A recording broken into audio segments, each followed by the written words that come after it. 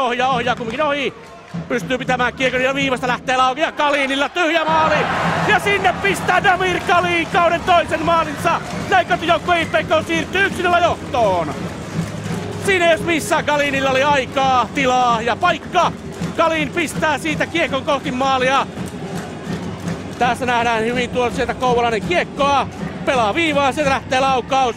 Kiekko jää pyörimään tuon maalin eteen ja siellä maalivahti Viiksteen on voimaton.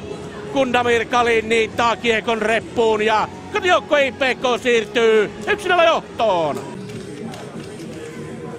Saako IPK kiekon tuolla kulmaksi? Ei saa Forström. Forström pelaa aika vaarallisesti tuohon.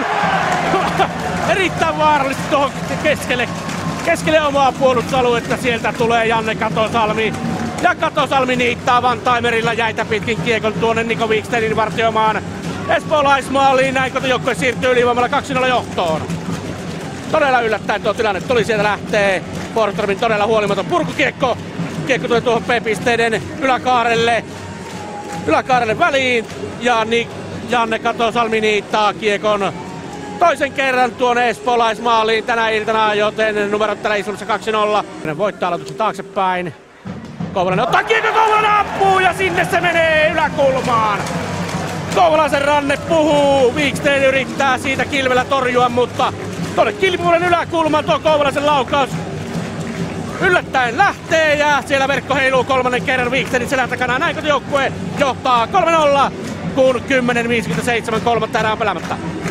Siinä Koulanen ottaa kiekon laukko yllättäen ja se yllättää sitten Wiksteninkin todellakin ja kyllähän se oli kova, kova ja tarkka rannelaukaus. Aivan tuonne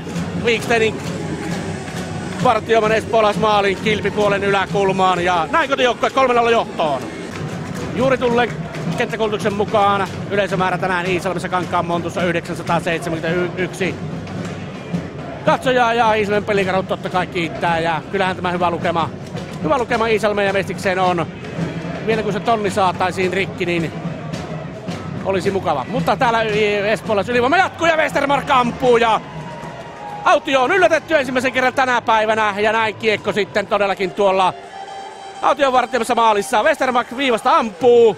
Kiekko muuttaa mielestäni jostakin suuntaansa, muuttaa ilmeisesti niin PK-pelaajista. Ja näin espoolaiset tulevat kahden maalin päähän, kun 10-13 vielä kolmantena siitä lähtee. Olisiko ollut näin, että Janne Katosalmen luistimiin tuo kiekko otti ja siitä se muutti sen verran suuntaansa, että Aleksi Autti jo yllätettiin ensimmäistä kertaa tänä iltana. Näin numerot täällä Iisalmissa 3-1.